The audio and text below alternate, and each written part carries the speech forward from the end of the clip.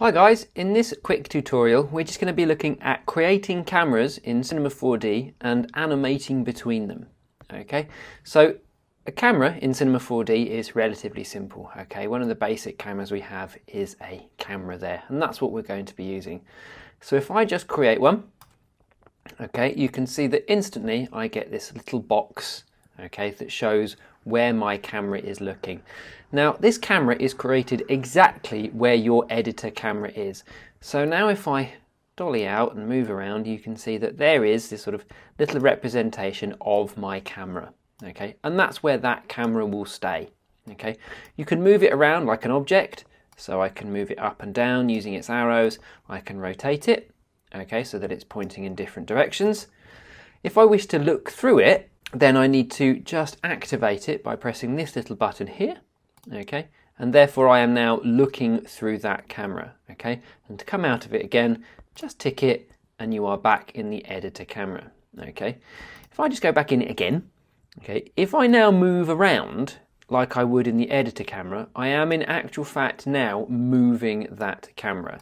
So if I rotate it around from where its central axis is and then come out of it, okay, I'm switched back to the editor camera and that camera that I have created now stays where it was. So there are a couple of different ways of moving your cameras about, either through this sort of fashion and then looking through, or whilst you're in it, moving it around that way. Okay, but that's how to create your basic cameras. Now it's to create several of them and move between them. And to do that, we use a stage object. Okay, so over here, if I click and hold, we have stage. Okay, I'm just going to let that go. And here we have, we've got a variety of different things that work within our stage object. But the one I'm going to focus on in this tutorial is the camera. So what I'm going to do, just very, very quickly, I'm just going to set myself up a tiny scene, okay, with some stuff in it. I'm just going to delete that camera for the moment so it's out of my way.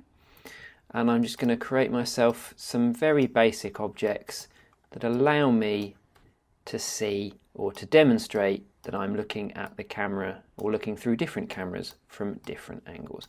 So there we go. So we've got my incredibly basic scene there. And if I just go in up close, okay, and I create my first camera, okay, there we know, if I just dolly out, you can see that that camera is incredibly close to those objects. And now if I wanted a slightly further away camera, and just sort of move a second one here, I shall create another camera.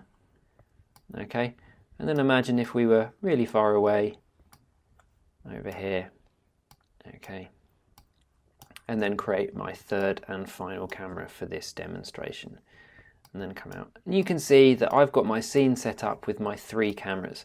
So it's really close, slightly farther away, and then one really quite far. Now, with my stage object selected, okay, if I drag camera into the camera slot, it instantly takes over, okay? I can now no longer come out of that. It would try to, but it won't. Because of the stage object is active, I will no longer be able to exit from anything other than the activated camera.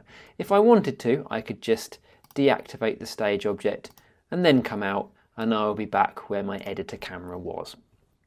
So just to turn the stage object back on, instantly reactivates that camera. And now, if say at frame 30, I wanted to change the camera that I was at, just go to my stage object. Okay, I'm going to put a keyframe okay, at the beginning of my animation. Okay, make sure it's there. Press the keyframe button, brilliant.